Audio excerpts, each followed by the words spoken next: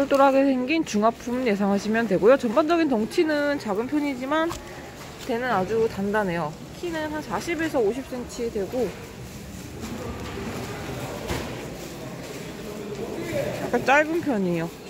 그래도 대가 딱딱하고 곱게 잘 뻗었어요.